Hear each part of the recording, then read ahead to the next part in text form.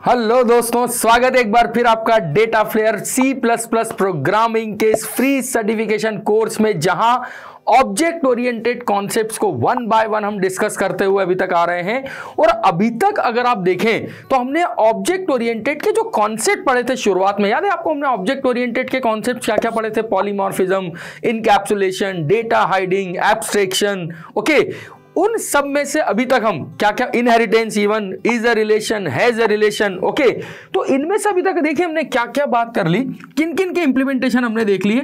हमने data hiding की बात की, ठीक है? डेटा हाइडिंग यूजिंग क्लासेस की क्लास को यूज़ करके किस तरीके से हम डेटा हाइड कर रहे हैं। ओके देन हमने एब्स्ट्रेक्शन की बात की। Use the thing without knowing its background detail ये हमने ऑब्जेक्ट क्रिएशन के साथ देखा। ठीक है तो classes data hiding plus abstraction इन दोनों को ही हमने बोला था इनकैप्सुलेशन याद करो। ठीक है, और ये इनकैप्सुलेशन को हमने अचीव किया सी प्लस प्लस में क्लास और ऑब्जेक्ट बना के। कि हमने क्लास बनाई मतलब we are actually achieving data hiding, और जब हमने ऑब्जेक्ट बनाया तो ऑब्जेक्ट बना के जब हम कोई भी मेथड को कॉल करते हैं तो आपने देखा हमें कोई मतलब नहीं कि उसके बैकग्राउंड में कोड क्या लिखा हुआ है। तो जब हम ऑब्जेक्ट बना के किसी मेथड को कॉल कर रहे हैं तो exactly we are achieving the concept of abstraction use the thing without knowing its background detail that is what an abstraction meaning तो ये भी हमने देखा how to achieve abstraction concept inheritance sorry data hiding concept फिर आए हम polymorphism के concept पे। तो पॉलीमॉर्फिज्म जब हमने पढ़ा, ठीक है तो पॉलीमॉर्फिज्म का मतलब मैंने आपको क्या बताया था? कि पॉलीमॉर्फिज्म का मतलब है to achieve more than one thing from a single thing right हमने पॉलीमॉर्फिज्म देखा। ठीक है तो पॉलीमॉर्फिज्म हमने कैसे अचीव किया? याद करो method constructor overloading method overloading तो जो भी ओवरलोडिंग कॉन्सेप्ट हमने पढ़े उन सबको यूज़ करके हमने क्या पढ़ा? पॉलीमॉर्फिज्म कॉन्सेप्ट जहाँ पर हमने ओवरलोडिंग में बात की थी कंस्ट्रक्टर ओवरलोडिंग के बारे में। Okay then will discussed about method overloading then will discussed about operator overloading तो आई होप ये सारे कॉन्सेप्ट अभी तक हमने क्लियर समझ लिए हैं। तो क्लास ऑब्जेक्ट ओवरलोडिंग ये सबको एक एक करके पढ़ के हम एक्चुअली कॉन्सेप्ट अचीव कर रहे हैं ऑब्जेक्ट ओरिएंटेड प्रोग्रामिंग के। जहाँ पर हम डेटा हाइडिंग की बात कर रहे हैं, जहाँ पर हम एब्स्ट्रेक्शन की बात कर रहे हैं, जहाँ पर हम इनकैप्सुलेशन की बात कर रहे थे ओके और ओवरलोडिंग तो हमने बहुत डिटेल में पढ़ी है।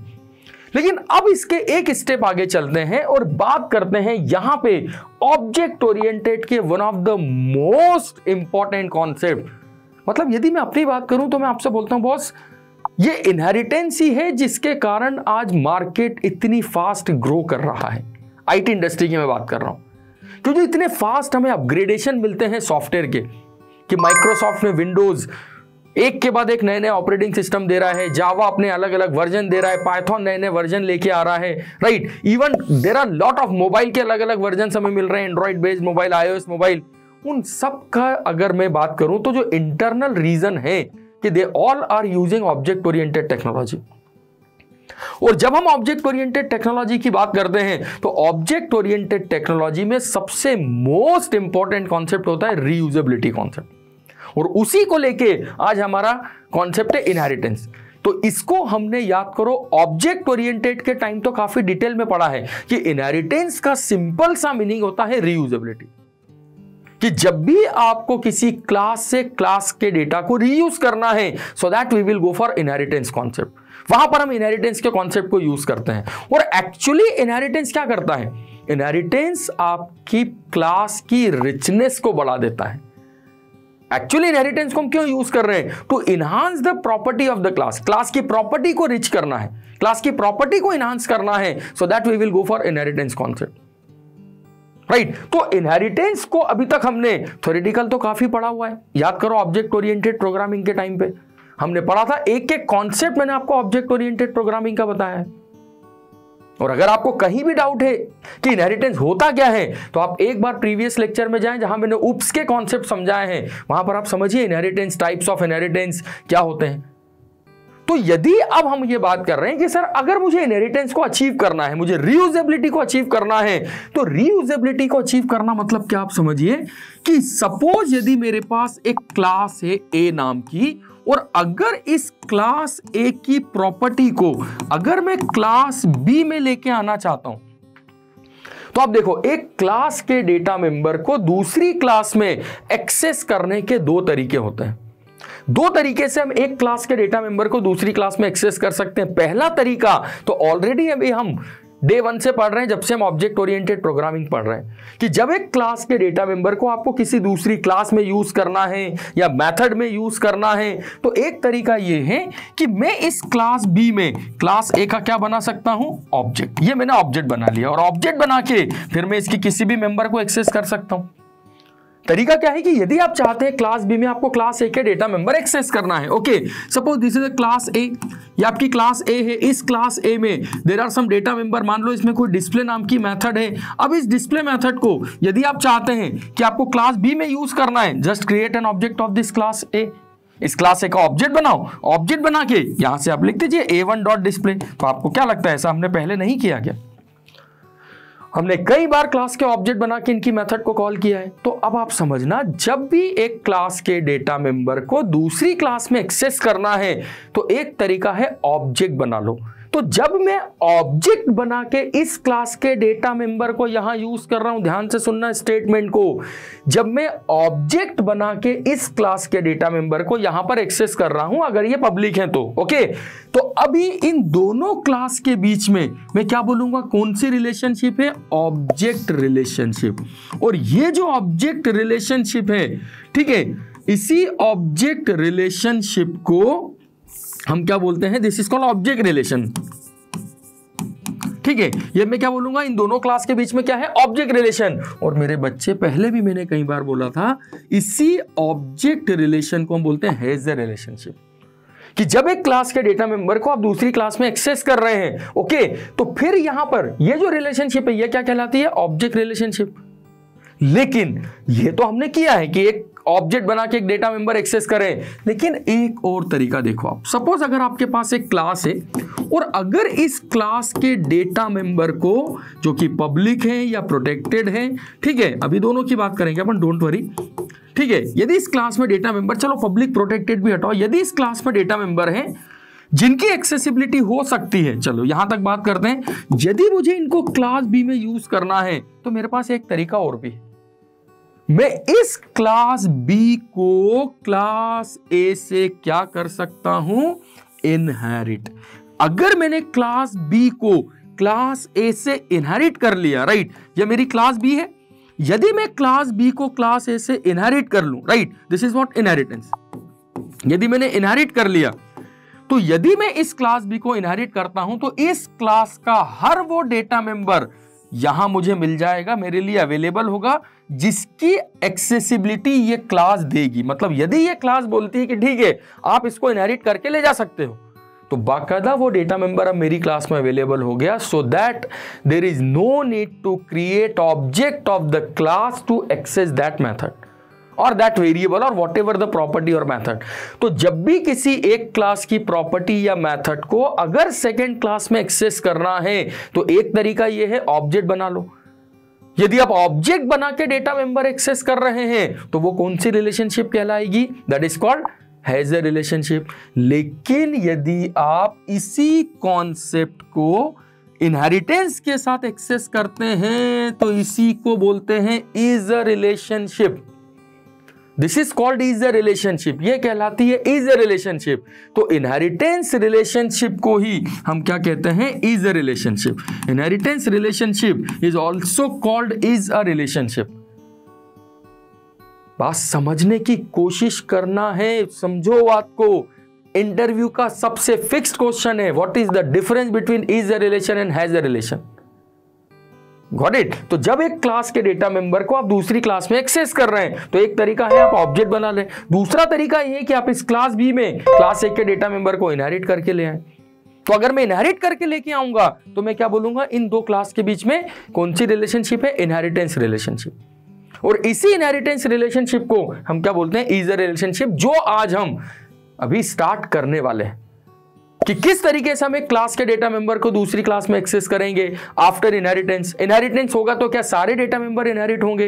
इन सारे कॉन्सेप्ट को बच्चे बहुत ज़्यादा ध्यान से समझना पड़ेगा इंप्लीमेंट करके देखना पड़ेगा। एंड बिलीव मी आपको मैं इतनी डिटेल में जो बता रहा हूँ बॉस इसलिए क्योंकि ये इंटरव्यू का मोस्ट इंपॉर्टेंट टॉपिक है। अभी जब हम आगे जाके कंपनीज़ के इंटरव्यू क्वेश्चंस को सॉल्व करेंगे ठीक है, मैं आपको हर टॉप एमएनसी के इंटरव्यू क्वेश्चंस को यहाँ पे सॉल्व करवाने वाला हूँ सी प्लस प्लस के। कोई भी कंपनी आप बताइए कौन सी कंपनी का टेस्ट पेपर सॉल्व करना है। आप प्लीज़ कमेंट करके बताइए आप उसके सॉल्व करेंगे। लेकिन उसके लिए पहले कॉन्सेप्ट तो क्लियर करना पड़ेंगे ना आपको। पहले आपको ये तो समझना पड़ेगा ना कि बॉस ये कॉन्सेप्ट क्या है? क्योंकि आप क्वेश्चन सॉल्व करोगे और आपको कॉन्सेप्ट ही नहीं पता है। मान लो क्वेश्चन में एक ऑब्जेक्टिव आ गया। तो आपको ये तो समझ में आना चाहिए कि is a relation has a relation का क्वेश्चन है ये। तो टेस्ट पेपर सॉल्व तब करो जब एक बार पूरा कोर्स कंप्लीट कर लो। पूरा एक बार कोर्स जब कंप्लीट होगा आपके तो आपके पास एक नॉलेज होगा हाथ में। कम से कम इतना हमें समझ में आएगा कि यस हमने सी प्लस प्लस पढ़ लिया है प्रैक्टिकली थ्योरेटिकली अब उसके बाद जब हम टेस्ट सीरीज़ सॉल्व करेंगे अलग अलग टॉप एमएनसीज के क्वेश्चन सॉल्व करेंगे तो देखिए कॉन्फिडेंस लेवल क्या बूस्टअप होता है फिर। और कोर्सेज आपके लिए, इतनी डिटेल कोर्सेज आपके लिए डेटा फ्लेयर पे फ्रीली अवेलेबल है। You can not believe but बच्चे डेटा फ्लेयर की पूरी team twenty four four by seven केवल आप लोगों के लिए वर्क कर रही है। केवल आप लोगों के लिए। कि आप अपनी टारगेट कंपनी तक पहुँचे, आप अपना स्टार्टअप शुरू करें, देश को आगे बढ़ाएँ इसी के लिए ये सारी मेहनत चल रही है। And believe me again again again मैं हर बार आपको एक ही बात बोलूँगा this course is free and certification is even free बस आपसे मेरी एक ही रिक्वेस्ट है कि इस मिशन के साथ जुड़े और इस कोर्स को जितने ज़्यादा स्टूडेंट तक आप शेयर कर सकते हैं प्लीज़ शेयर करें। केवल एक ही रिक्वेस्ट आपसे है, यही गुरु दक्षिणा है, जो आपको हमें देनी तो केवल इस कोर्स को अपने दोस्तों के साथ शेयर करें उसको जितना मैक्सिमम आप शेयर करेंगे उतना आपके लिए बेनिफिट देखिए एक चीज़ होती है ना कई बार आप एक चीज़ समझिए मतलब कोई अगर आपकी तारीफ़ करता है तो कितना अच्छा लगता है ना कि यार सर वाह यार वेरी नाइस जब आप कोर्स कंप्लीट करोगे जब आपका जॉब लग जाएगा ठीक है पेरेंट्स तारीफ़ करेंगे वाह यार वेरी नाइस वेरी गुड तो क्या होता है इंकरेजमेंट सबको लगता है। आज मैं 20 साल से पढ़ा रहा हूँ 20 साल में मोर देन 50,000 स्टूडेंट प्लेस्ड हो गए। और जब वो बात करते हैं ना ठीक है, और यही कोर्सेज यही कोर्सेज पढ़ के कुछ अनोखा नहीं पढ़ा है कि ऐसा बिल्कुल नहीं है कि मैं आपको जो चीज़ छोड़ रहा हूँ या उनको कुछ एक्स्ट्रा पढ़ा है। यही कोर्सेज मैंने उनको भी बताए हैं, और वही मैं आपको भी पढ़ा रहा हूँ। बस केवल डिफरेंस इतना है कि उन्होंने उस चीज़ को आत्मसात कर लिया ऑब्ज़र्व कर मतलब जिसको बोलते हैं ना एब्जॉर्व कर लिया दिमाग में। They are very much sincere serious आप भी उतनी सीरियस हैं सिंसियर हैं। तो ये जो मैं आपसे बात कर रहा हूँ ना कि बॉस, पहुंचोगे आप टारगेट कंपनी में? पहुंचोगे और क्या टारगेट कंपनी यार? बॉस, खुद का स्टार्टअप शुरू करना है अपने को तो। राइट तो प्लीज़ आपसे एक ही रिक्वेस्ट है कि आप जितना इस कोर्स को लेके खुश हैं, खुशियाँ बांटिए, दोस्तों के साथ इसको बांटिए, और प्लीज़ कोर्स को सर्कुलेट ज़रूर करिए। राइट तो चलिए आते हैं वापस कि थोड़ा सा क्या होता है? बीच बीच में थोड़ा सा एक बूस्टअप डोज देना ज़रूरी होता है ना बच्चों को। और वही मैं आपके साथ भी करता हूँ कि हनुमान को उनकी शक्ति का एहसास दिलाना पड़ता है। तो हम सब में हनुमान जी हैं, हम सब में महाराज हैं। बस शक्तियों को पहचानो और लगे रहो बस। ठीक है? तो चलिए बात करते हैं इनहेरिटेंस की।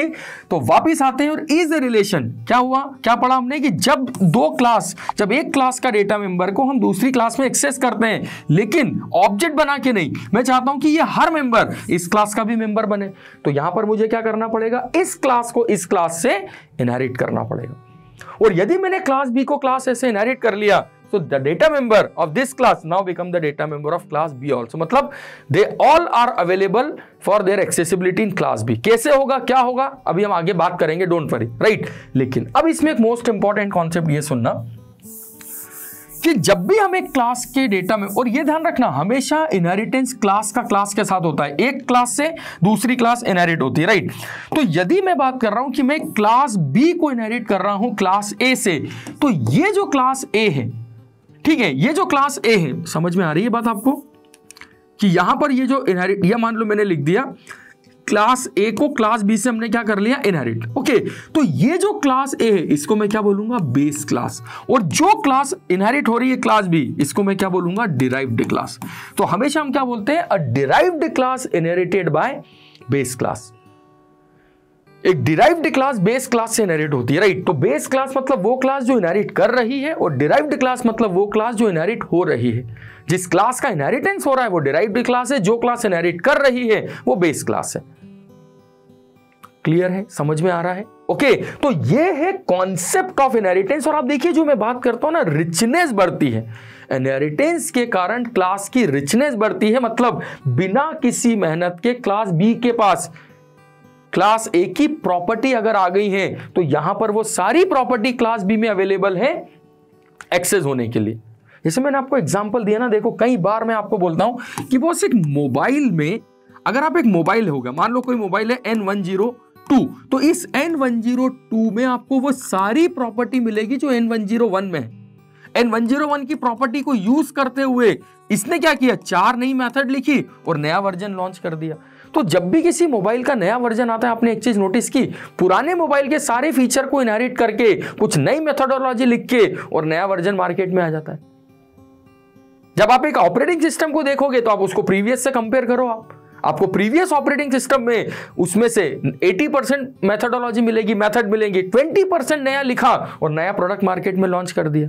बस, पर इंपॉर्टेंट यह है कि उस 80 परसेंट कोड के लिए मुझे मेहनत नहीं करनी पड़ी ना, वो तो एज इट इज़ जेनरेट हो गई है। वो तो उनको तो मैं एज इट इज़ रीयूज कर रहा हूँ। और उनको रीयूज करने के कारण मेरी इस क्लास का जो रिचनेस है, वो एकदम से डबल हो गया, बढ़ गया। तो एक्चुअली इनहेरिटेंस क्या करता है? इनहेरिटेंस आपकी डिराइव्ड क्लास की प्रॉपर्टी को इनहांस कर देता है रिच बना देता है। और बिना किसी स्ट्रगल के, बिना किसी मेहनत के। Got it so that is what the importance of inheritance जो हम बात कर रहे हैं, कि why inheritance is that much important in object oriented programming क्योंकि मेरे हिसाब से यही है दिस इज़ द कॉन्सेप्ट जिसके कारण आज ऑब्जेक्ट ओरिएंटेड इतना ग्रो है जिसके कारण आज आईटी इंडस्ट्री इतना ग्रो कर रहा है। बिकॉज़ आज आप जो भी टेक्नोलॉजी पढ़ोगे like C plus plus Java Python dot net everywhere you find this inheritance concept. Everywhere you find this object oriented concept. Okay okay, तो ये जो इनहेरिटेंस अभी हमने देखा अब क्वेश्चन आता है सर इनको कितने तरीके से हम इंप्लीमेंट करेंगे? तो हम देखेंगे one by one single level inheritance हम बात करेंगे मल्टी लेवल इनहेरिटेंस के बारे में ठीक है, हम बात करेंगे मल्टीपल इनहेरिटेंस के बारे में। इन सभी के हम कोड देखेंगे multiple inheritance then will talk about hybrid inheritance ठीक है hybrid inheritance then will talk about single level multi level multiple hybrid hierarchical inheritance ये है टाइप्स ऑफ़ इनहेरिटेंस ये हमने उप्स के टाइम भी पढ़े थे, आपको याद हो? तो ये है टाइप्स कि सिंगल लेवल इनहेरिटेंस क्या होता है? मल्टी लेवल इनहेरिटेंस कॉन्सेप्ट चली तो सब पढ़ा है। हमें पता है सिंगल लेवल इनहेरिटेंस मतलब जब एक क्लास किसी दूसरी क्लास को इनहेरिट करती है तो ये सिंगल लेवल इनहेरिटेंस कहलाता है। जब इनहेरिटेंस इससे आगे और निकल जाएगा तो ये मल्टी लेवल कहलाएगा। किसी एक क्लास का मल्टीपल क्लास से इनहेरिट होना मल्टीपल इनहेरिटेंस कहलाता है। लेकिन सर, ये प्रैक्टिकली इंपॉर्टेंट ये है कि कॉन्सेप्ट तो हमने उप्स के टाइम भी पढ़ा है। लेकिन यहाँ पर कोडिंग में इनहेरिटेंस किस तरीके से अप्लाई करेंगे हम? राइट तो इनहेरिटेंस क्या है? पहले तो ये समझ में आया। क्लास का क्लास से इनहेरिटेंस होगा तो क्या होगा? Is a relation has a relation right अब इसको प्रैक्टिकली कैसे इंप्लीमेंट करना है? ये कॉन्सेप्ट मैं आपके लिए लेके आता हूँ नेक्स्ट लेक्चर में। तो नेक्स्ट क्लास होगी हमारी जहाँ पर हम बात करेंगे इनहेरिटेंस पार्ट टू में कि how to implement inheritance concept in C plus plus ये था भी हमारा इनहेरिटेंस का इंट्रोडक्शन कि अब हम जो इनहेरिटेंस करने वाले हैं, उससे हमें क्या एडवांटेज मिलेंगे।